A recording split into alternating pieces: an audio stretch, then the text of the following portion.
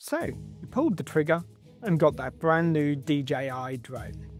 The box is open, the smell of new tech is in the air, and now the drone is sitting there looking expensive. Right now, you're probably feeling excited, along with a healthy dose of fear. Fear that hundreds, if not thousands of pounds is going to go cartwheeling into the nearest tree. You've seen the epic drone shots, but you've also heard the horror stories. And that is exactly why we're here.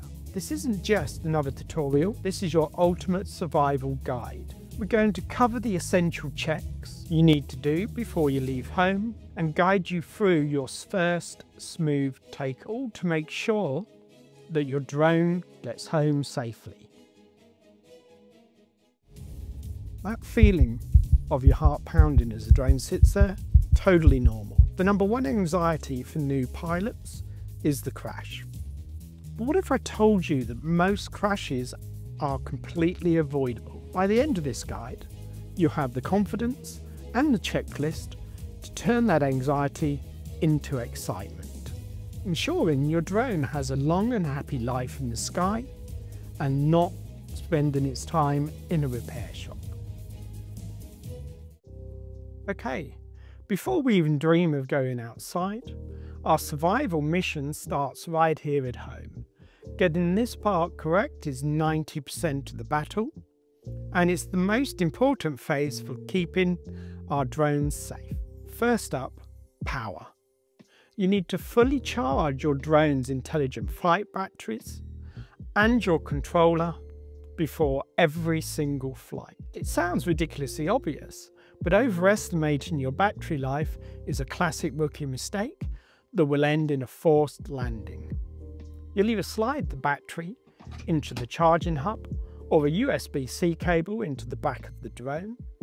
The lights will then do a little dance to let you know it's charging and when they're full it will either show the lights solid or the lights will turn off. Do the same for your controller. A dead controller mid-flight is a special kind of panic you don't need in your life. Next, the hardware itself. Before powering up your drone, always remember to remove the gimbal protector. This little bit of plastic is often forgotten by new pilots and is a fast way to get a gimbal stuck error or damage your gimbal when powering on the drone. Next we're going to unfold the arms. Now there is no secret order to this, just be gentle and unfold them carefully. And don't force them. Now take 5 seconds to check the propellers. Make sure there's no nicks, no cracks, or no bending in the propellers themselves. A damaged prop can cause the drone to be unbalanced and is a sure way for your drone to go tumbling out of the sky. It's a tiny check that could save you from a huge headache. Now for a critical piece of gear the micro SD card. Yes, you may have internal storage in your drone, but if you want to record high quality video, you're going to want to make sure you have an SD card.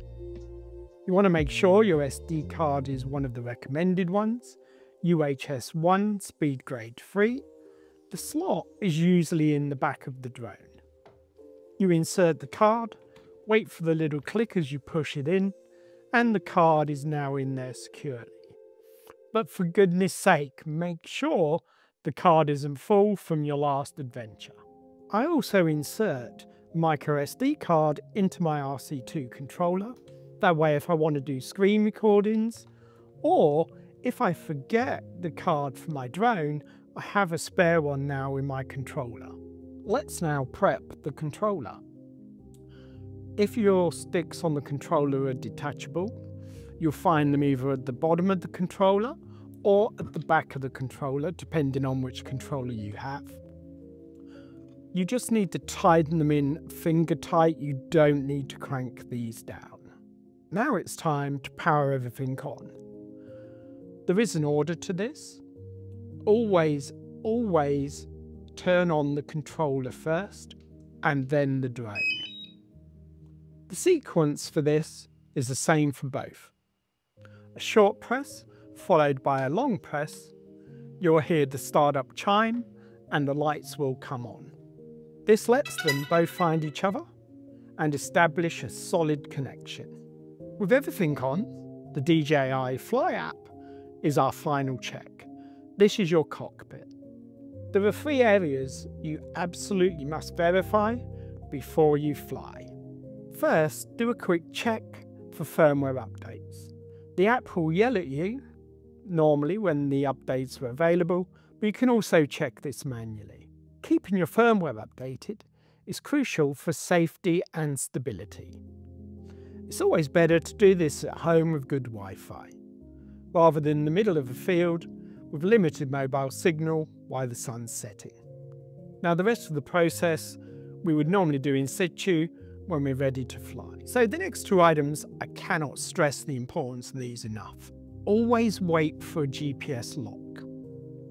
Look in the top corner of the app for the satellite symbol and make sure you have at least 10 satellites connected and you hear the home point updated message from updated. the app. Don't rush this. Without a good GPS lock, your drone is flying blind, and that important return to home isn't going to know where home is. There is an exception to this, and this is the advanced return to home. Now, with this, it doesn't require satellites to find the home point, it will go back to the point where you took off but I still recommend making sure you have that important satellite lock before you take off. Next, check the return to home altitude in the safety settings in the app. You want to make sure that if you're flying an area, say with 50 foot trees, you set the altitude to 100 foot so you can avoid any obstacles in the area. If your drone ever loses signal and initiates a return to home, it will rise to this height and clear any obstacles like buildings, trees, power cables. Ignoring this is how a drone will crash itself on the way home. Also, you may have obstacle avoidance on your drone, but remember that twigs and cables are not going to be detected. And trees are an issue, especially when they're losing their leaves, as the small twigs can't be detected. Other things you will want to get in the habit of checking are the weather, checking for wind speeds and gust speeds, making sure they are within the parameters of your drone. You can use things like UAV Forecast or Air Data UAV. Those are two apps that I use. Um, there are others available. And the next thing is to make sure you've checked that you can fly in the area you intend to go to, that not a no fly zone or has any restrictions. Okay, pre-flight checklist is done, our batteries are charged, our hardware is inspected, and all systems are go. Now we've done all the groundwork, it's time to move on to the main event. The kind of spot you want to pick for your first flight is an open area, no buildings, no people, no power lines, and especially no trees. Drone magnets, every single one of them. Giving yourself a massive buffer zone is the best way to build confidence without any risk. Obstacle avoidance is a good tool, but there's no need to test it just yet, as that's a sure way to crash your drone. Go ahead and place the drone on a flat surface. Cheap landing pad is a great investment to keep grass and dirt out of your camera and gimbal and off your props. With the drone and the controller now connected, and all of the pre-flight checks done, it's now time to fly. There are two ways to get airborne. You can pull both control sticks down and inwards to start the motors, then gently push the left stick up.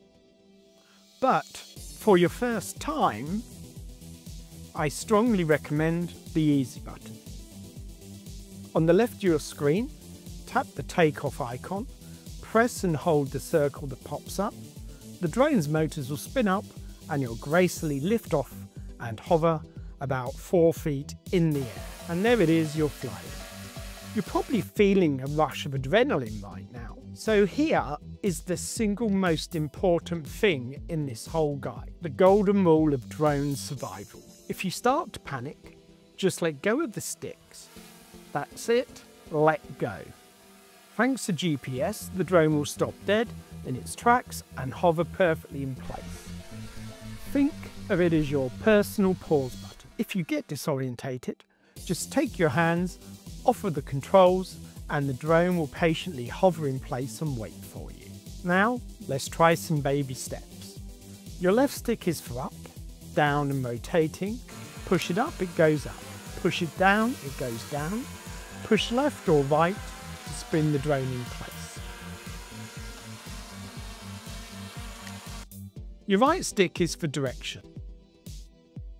Push forward to move it forward, pull it back, it moves backwards, push it left, it moves left, push it right, the drone will move to the right. The key here is to be gentle. Make small, smooth inputs. Don't jam the sticks to the edge, just nudge them. Fly up to about 20 feet, fly forward 50 feet, fly back and rotate around 360 degrees.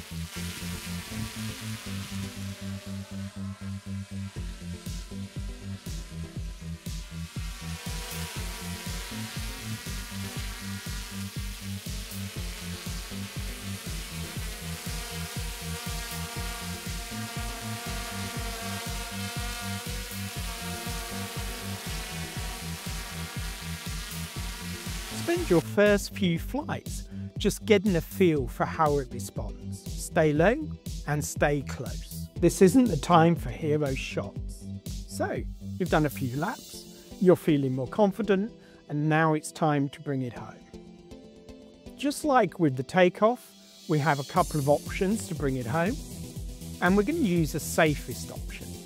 We're going to now use the return to home feature. Find the H button on the remote or the RTH icon in the app.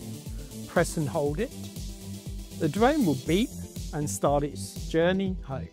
It will climb to the safe altitude you said earlier when using standard return to home, or it will follow the flight path if using the advanced return to home and fly back to its takeoff spot and land itself all on its own.